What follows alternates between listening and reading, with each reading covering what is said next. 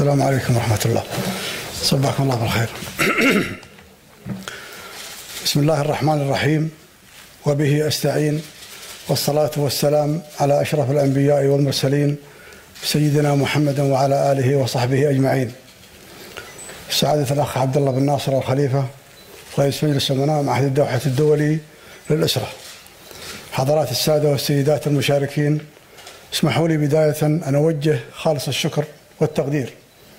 لمنظمي هذه الندوة على دعوتهم الكريمة لي لإلقاء هذه الكلمة. أن الموضوع الذي نناقشه اليوم هو تأثير الديناميكيات وهو تأثير الديناميكيات السكانية على الأسرة العربية وآثارها على التخطيط يعد ولا شك من الموضوعات البالغة الأهمية حيث يمر هيكل الأسرة العربية التي تعد النواة الأساسية للمجتمعات العربية والمعلم الأول والمصدر الرئيسي لغرس القيم يمر بمرحلة تحول دقيقة كما ذكر أخي سعادة الأخ عبد الله إذ نتج عن عمليات الحداثة والعولمة والتي تشمل الاستخدام الشائع للإنترنت ووسائط التواصل الاجتماعي بالإضافة إلى التغير السريع في عدد السكان وهيكليته والديناميكيات الديمغرافية تغير أسلوب الحياة التقليدي للأسرة العربية بوتيرة متسارعة. ولقد نص الدستور الدائم لدولة قطر في المادة الواحدة والعشرين حادية والعشرين على أن الأسرة أساس المجتمع. قوامها الدين والأخلاق وحب الوطن. كما نص على أن ينظم القانون الوسائل الكفيلة بحمايتها وتدعيم كيانها وتقوية أواصرها والحفاظ على الأمومة والطفولة والشيخوخة في ظلها. وفي عالم اليوم الذي يتشابك بشكل متزايد استشرفت رؤية قطر الوطنية 2030 التحديات التي تواجه الأسرة من حيث تحقيق التوازن بين التحديث وبين المحافظة على الموروث والعادات والتقاليد.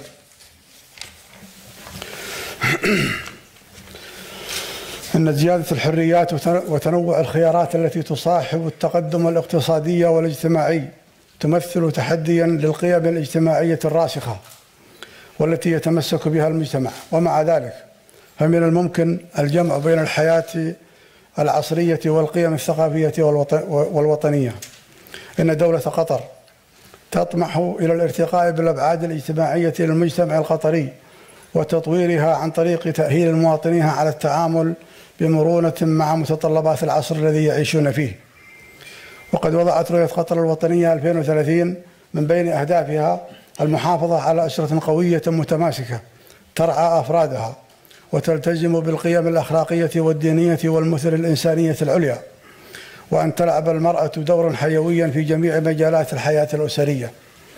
وكذلك عبر المشاركة في صنع القرار الاقتصادي والسياسي.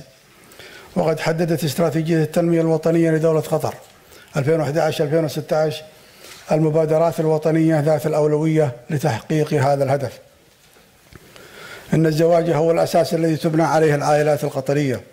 وهناك اتجاهان بارزان يهددان تماسك الأسرة القطرية وهما ارتفاع معدلات العنوسة وزيادة معدلات الطلاق.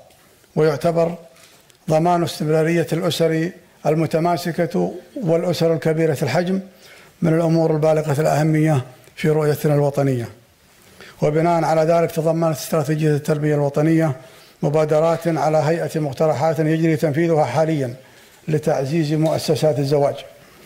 لتعزيز مؤسسة الزواج بما في ذلك الإرشاد الأسري والمشورة للمقبلين على الزواج والإجراءات الأخرى التي من شأنها خفض نسبة العنوسة. وسعيا لتعزيز, لتعزيز آفاق الرعاية والحماية الاجتماعية طويلة الأجل في دولة قطر. طرحت استراتيجية التنمية الوطنية مبادرات لتوفير أنظمة الدعم للأسر ذات الظروف الخاصة كأسر ذوي الاحتياجات الخاصة والأحداث الجانحين وتحسين الدعم للأسر العاملة لا سيما المرأة لا سيما للمرأة العاملة وإنشاء نظام الحماية والدعم المجتمعي. أيها الأخوة والأخوات سعيا لضمان الأمان المالي الطويل الأجل للأسر القطرية والحد من أوجه الضعف الاقتصادي والاجتماعي يتم ترسيخ المعرفة والمهارات لجميع القطريين للتكيف مع تحول قطر المتسارع إلى الاقتصاد المتنوع والمبني على المعرفة. وتقترح استراتيجية التنمية الوطنية كذلك توظيف الاستثمارات في قطاع التعليم والتدريب العالي الجودة. فالجودة متطلب هام لضمان تحقيق نتائج تلبي احتياجات سوق العمل الحالية والمستقبلية. وهذا يقتضي بالطبع إجراءات تضمن حصول الجميع على تعليم عالي الجودة حيث أن هدفنا في الاستراتيجية هو تحقيق معدل التحاق صاف بنسبة 95% في جميع مراحل التعليم العام من الروضة وحتى الثانوية عام 2016 أما في مرحلة التعليم ما بعد الثانوي فسيكون هناك مزيد من المواءمة بين التعليم العالي واحتياجات اقتصاد المعرفة. وبالإضافة إلى ذلك تتيح استراتيجية التنمية الوطنية فرصا أكبر للنساء في مكان العمل مع توفير مسارات أكثر تنوعا وقبولا اجتماعيا. مع زيادة فرص العمل في المهن العلمية والإدارية وفي ريادة الأعمال. السادة المشاركون الكرام إن الأسرة إن الأسرة هي نواة المجتمع العربي وهي اللبنة الأساسية التي تقوم عليها كافة جوانب البنية الاجتماعية. وسوف تناقشون اليوم وغدا بعض التحديات التي تواجه الأسرة العربية التي تعرضها الأوراق المقدمة في هذه الندوة. وختاما إذا كنا نملك الرؤية والعزم والقيادة فسنكون قادرين بإذن الله على تحقيق أهدافنا. فنحن بحاجة إلى التزام نشط ودعم من كافة الأفراد والقطاعات كما نحتاج إلى بذل الجهد بذل جهد ضخم يبدأ داخل بيوتنا وأسرنا لضمان توفير الدعم اللازم لأبنائنا وبناتنا وتشجيعهم. والله الموفق والسلام عليكم ورحمة الله وبركاته.